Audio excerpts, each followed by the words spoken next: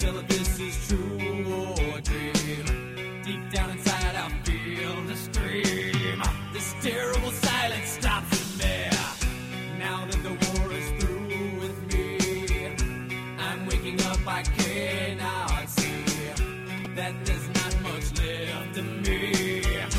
Nothing is real but pain now.